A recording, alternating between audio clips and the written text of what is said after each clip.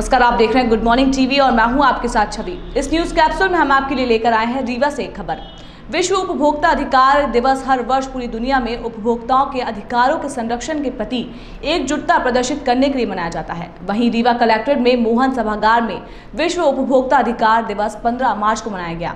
इसका उद्देश्य लोगों को उपभोक्ता अधिकारों के प्रति जागरूक करना और बाज़ार की गड़बड़ियों और सामाजिक अन्याय के खिलाफ विरोध व्यक्त करना था।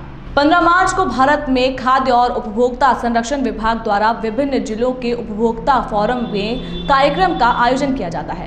इन कार्यक्रमों में अखिल भारतीय उपभोक्ता उत्थान संगठन के साथ कई संगठन, प्रबुद्ध उपभोक्ता और मीडिया से जुड़े लोगों को आमंत्रित किया गया। इन कार्यक्रमों में उपभोक्ताओं को विचार गोष्ठी और उपभोक्ता अधिकार के संबंध में विस्तार से जानकारी प्रदान की गई। इस समारोह में उपभोक्ता को उनके अधिकारों, शिकायत करने की प्रक्रिया और इस संबंध में न्यायिक अधिकारों के प्रति जागरूक किया गया।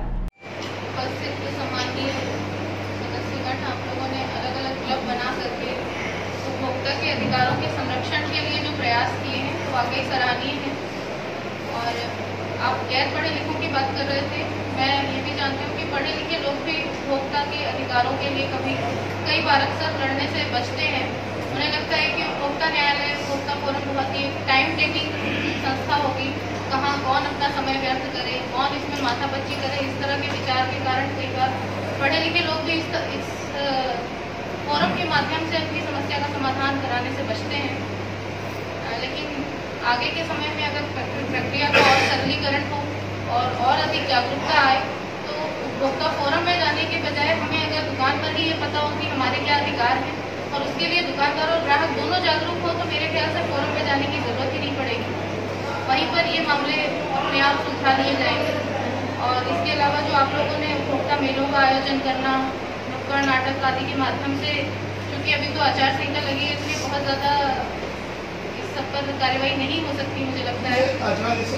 बड़े गरिमामय कार्यक्रम में उपस्थित हमारे उपभोक्ता संगठनों के पदाधिकारीगण, जिसमें श्री मिश्रा जी, डॉक्टर साहब और श्री देवेंद्र सिंह जी साहब और भी अन्य पदाधिकारी जो उनके साथ में आए हुए हैं और समस्त उपभोक्ता बंधु, सबके बीच में ये बड़ी सार्थक चर्चा इस मुद्दे पर हुई है कि हमारे उपभोक्ता संरक्षण के लिए सबके मन में कोई ना कोई दर्द मैंने देखा, महसूस किया कि आप सबकी वाणी से आप सबकी बॉडी लैंग्वेज से और आप सबकी गर्माई उपस्थिति ये प्रमाणित करती है कि कहीं ना कहीं हम उपभोक्ता के हितों के चिंतन, उनके परिरक्षण करने के लिए अपने आप को रोक नहीं पाते।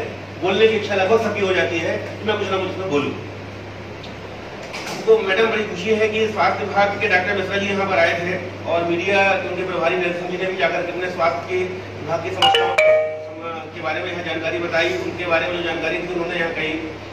कुछ समस्याएँ वहाँ की थी, उनको हमने नोट किया है। हमारे डॉक्टर साहब बड़े सजग उपभोक्ता संगठन के प्रतिनिधि हैं यहाँ पर, और उन्होंने कहा कि जो गाड़ियाँ लेकर के लोग जाते हैं और उनसे कुछ अवैध वसूली जैसा मुद्दा उनके साथ में है तो ये फोरम के बीच में ये बात सामने आई है कि वहाँ पर जो ज़्यादा पैसे लिए जाने की कोई समस्या है उसको इस फोरम के माध्यम से, इस मंच के माध्यम से हम उनके संबंधित विभाग के डीन को लिखेंगे और उनको ताकीद भी करेंगे कि के अनावश्यक कहीं कोई उपभोक्ता शोषण अगर हो रहा है और जो समूह के उपभोक्ता की चर्चा उभर के सामने है उसको समाधान करेंगे करेंगे।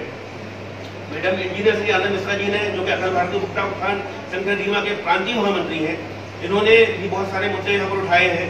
आपका एक सबसे अच्छा विषय ये रहा कि पर्यावरण की सजगता के बारे में इन्होंने यहाँ चर्चा की है। हालाँकि विषय से थोड़ा सा हट करके था, लेकिन उनका कहना यह था कि आदमी की वाणी से तो आदमी समस्या पता देता है।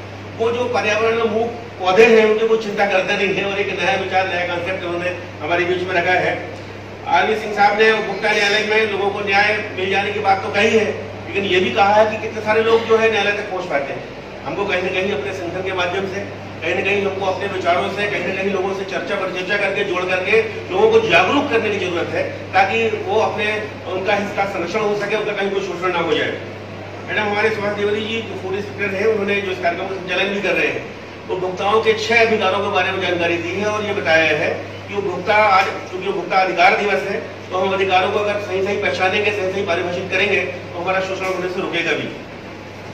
देवेंद्र सिंह जी ने जिनका उपभोक्ताओं के लिए क्या आ, कहना चाहते हैं आप? उपभोक्ताओं के लिए सबसे पहले है उपभोक्ता को हम संगठनात्मक रूप से अपनी जागरूकता का प्रचार कार्य करें। जैसा कि शासन का निर्देश है कि पहले आम जनता को जो उपभोक्ता है उसको हम जागरूक करें। जागरूक करने के पश्चात वो अपने अधिकारों से जहाँ पीड़ित हैं उनको हम समझाएँ। फिर इसके बाद जब वो कुछ समझदार हो जाएँ तो उनको हम अपने संगठन के मंच के माध्यम से या कमेटी के माध्यम से या डायरेक्ट अपने स्वयं आवेदनों से हम उनकी समस्याओं का समाधान करने में सक्षम बनाते हैं ये हमारा उद्देश्य होता है। ताकि किसी जन, आम जनता को, आम नागरिक जो उपभोक्ता है, उसकी कोई पीड़ा न रह जाए। यही शासन के कोऑर्डिनेशन के साथ होता है। शासन इसी बात के लिए पैसा खर्च करती है, अनुदान देती है, भारत सरकार देती है, राज्य सरकार के माध्यम से। तो मेरा कहना है सभी उपभोक्ताओं को हम ज़्यादा से ज़्यादा कैंप करके, नौकर सफ़ाई करके और लोगों को टीम में जोड़कर ग्रुप बनाकर हम उन्हें इस चीज़ को शिक्षित करें, जागरूक करें, ताकि उनको हमारे उद्देश्य, जो उपभोक्ता का संरक्षण का जो उद्देश्य है, वो एक पढ़ा हुआ व्यक्ति और एक अनपढ़ व्यक्ति जो बिल्कुल नहीं पढ़ा है, वो भी अपने अधिकारों को अच्छे से समझ सके और उसको जीवन में सुख सुविधा अपने सोचे हुए लक्ष्य को प्राप्त कर सके। इस न्यूज़ कैप्सूल में फ़िलहाल इतना ही। आगे की अपडेट्स, स्पेशल रिपोर्ट्स और खास खबरों के लिए निरंतर बने रहिए गुड मॉर्निंग टीवी के साथ। नमस्कार।